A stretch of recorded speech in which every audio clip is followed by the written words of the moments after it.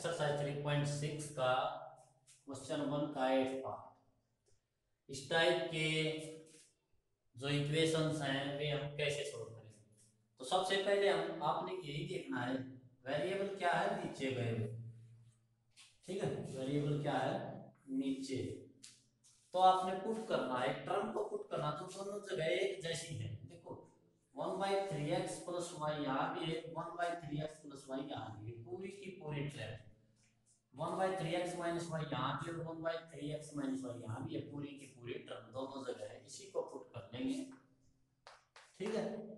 Put one upon three x plus y is equal to a one upon three x minus y equal to b ये equation हो गई आपकी a plus b is equal to three by four simple कर सकते हो इसको four से multiply कर दो four a plus four b equal to three यहाँ one by two a one by two है एज इट है, या ए बाई टू कह सकते हो।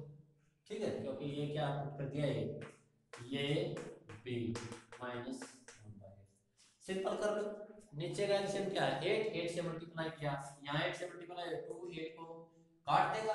Four a minus four equal to ये एट से मल्टीप्लाई एट से एट कैंसल माइनस वन या आप एलसीएम लेकर इस साइड साइड जा सकते हो ठीक है? पूरे का एलसीएम ये थे पूरे का एलसीएम से मल्टीप्लाई कर दिया हो ये आसान तरीका ये वन ये टू पहले ये जैसे इनके दोनों न्यूमेरिकल वैल्यू हैं। ठीक है? ऐड करने पर बी वाले कट गए। Eight a equal to three minus one two a is equal to two by eight one by four ठीक है? पुट कर लो कहीं पे. वन में करो टू में पुट करो, कहीं पे पुट करो. तो आपने यहाँ पुट कर दिया ए आया ना आपका. One by four plus b is equal to three by four उस साइड गए. B is equal to three by four minus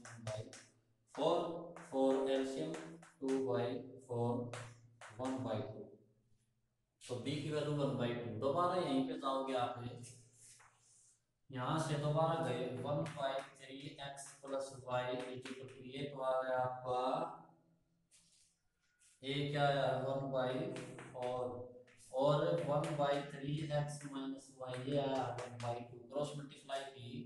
तो यहाँ से आपका three x plus y equal to four और three x minus y equal to अब इन दोनों इक्वेशनों को चलो ये थ्री है और ये फोर है।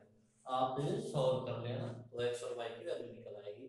तो इस टाइप के सम आपने ऐसे निकाल।